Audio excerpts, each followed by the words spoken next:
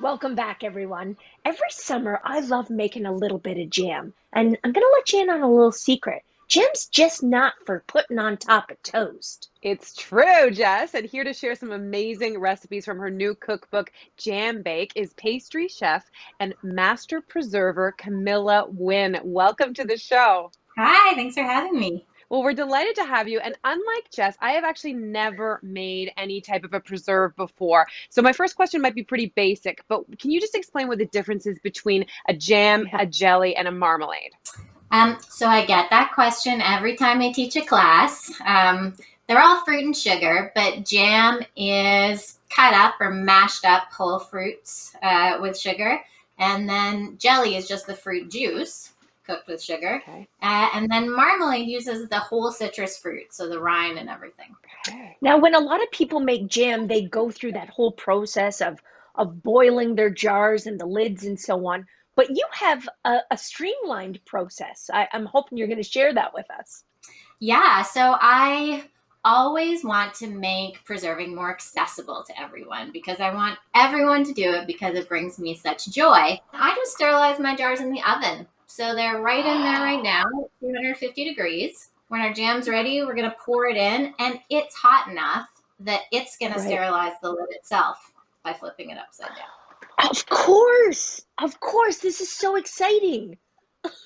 It's a great tip. It's a lot of time. Very, I can't wait to do it. I have to say that's exactly how I'm now make jam. I never make a whole bunch in one go. What I do is I live close to a, several green grocers and they often have discounted fruit, which is amazing in the summer because I'll buy a basket of fruit that's already perfectly ripe and away I go. Add some sugar, add some maybe some lemon but I'll tell you what I never add.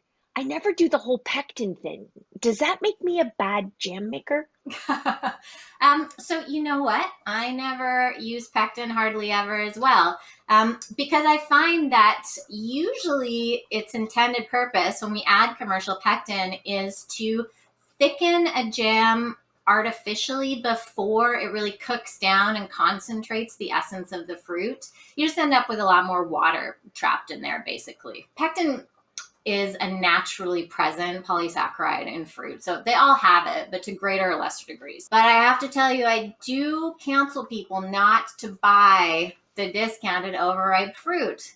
And that's because the riper fruit is, the less pectin it contains. So oh my gosh, it's just so to be a bit underripe.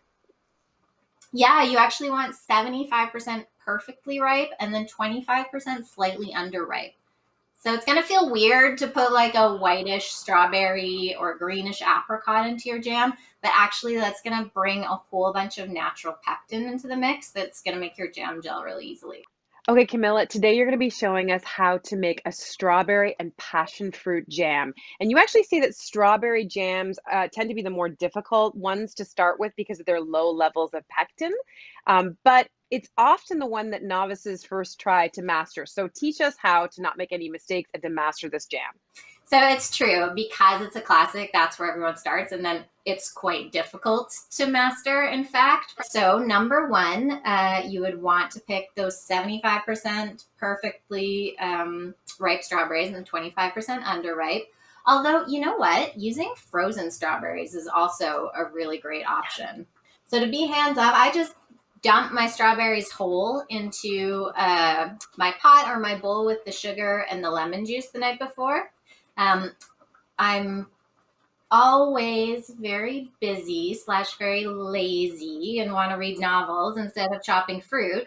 So this way, the sugar just naturally draws the juice out of um, the fruit. Sugar is very attractive, uh, so water loves it. Pulls that juice out, uh, and then all the sugar is dissolved. We have no chance of scorching it. Um, and then, personally, I just like to use my hands to squish yes. uh, the strawberries. And actually, for me, that's the optimum texture. You have like some that are totally broken down. You have some just like really irregular chunks. Whew, it's almost ready. You know when it's spitting that it's almost ready. and then because strawberries are so sweet, I think passion fruit marries really well with them because it's so acidic. and it brings like those little black flecks. I love those seeds. It kind of looks like polka dot in the jar a little bit. But even passion fruit, when you cook fruit, the bummer is that it loses some of that acidity that makes fresh fruit so delicious. And so, what we're going to do actually when the jam is ready is just stir in a little bit of citric acid. And that's going to bring back Ah. some of that fresh fruit vibrancy and make the jam super delicious. Now, you write in your book that uh, a lot of people find it very difficult to know when their jam is actually done, and I totally agree. I some people use a thermometer. I just use like the I dip a spoon into it, and if it sort of clings to the spoon, I'm like, yeah, looks good enough for me. But you actually have a foolproof test that you're going to show us right now. So, let me grab a plate from the freezer. Okay. So cool. Feel like we're just like right there with you in your kitchen. is. Okay. So, we're going to take a teaspoon of jam, hot, bubbling, dangerous jam, uh, and put it onto the plate and then back in the freezer for two minutes. Okay. Okay. And so you're looking for a particular consistency when you pull it out after those two two minutes. Is that what it is? So what we're going to do is we're going to push it horizontally across the plate. And I always change what I say in classes, but lately I've been saying it should wrinkle like a silk robe on the dock of Harry Styles' yacht. Oh, I love it. That is an image. She's a wordsmith too, obviously, as an author. Okay, I think it's ready. I think we can check. It's like a big reveal. I love it. I'm going to give it a push. Yeah. Is it like Oh, Are you yeah. satisfied? It's wrinkling? is it And then a you can do a second test. So the Moses test, you part it like the Red Sea, and then if it doesn't come back together, you're good also.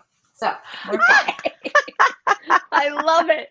Okay, so Camilla, all the preserves in your book come with a pair of recipes for baked goods, which is so wonderful. So, for example, this particular recipe for your strawberry passion fruit jam, you make an angel food cake with it, and you also make these amazing looking donuts that you sent us to try. I don't even know what to make of this, but uh, I want to eat it. So, tell us all about it while we do. Um, so I found this recipe in my granny's recipe clippings um, for angel biscuits. So it's a yeasted buttermilk biscuit. And I said to myself, well, I bet that'd be really good if you deep fried it. So And you're These right. are- Yes. Holy. I know. God. these are really quick yeasted Yeah, yeah, buttermilk biscuit. Fried and then um, Oh. just stuffed with the jam and tossed in sugar that's mixed with a little bit of freeze dried strawberry powder. I can't even. It This is so so good. good. Like everything should be stuffed with the jam. So I love making jam. I love making a cocktail, but I've never thought about combining these two beautiful worlds together. But you did in your cherry Negroni jam, which sounds incredible. Will you tell us everything about it?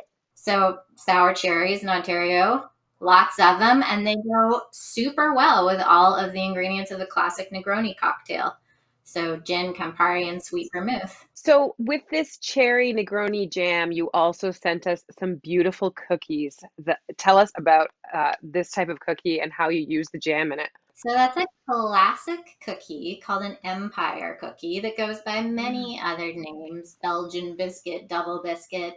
Um, so traditionally filled with raspberry jam and then iced. I filled them here with the cherry Negroni jam. And then instead of using water in that glaze, I used some gin uh, and top it off with a cocktail cherry. Oh, yes, you did. Yes, you did. It's so Mm. fancy. Oh, I love it. Camilla, I think Cynthia is going to be making jam this summer. We can't thank you enough for this. This has been incredible. Well, I sincerely hope that's true. This has been amazing. And, and for everyone watching, don't worry, we're going to have all of these recipes shared on our social media channels. And if you want to get your jam bake on, don't forget to grab the cookbook. We'll be right back.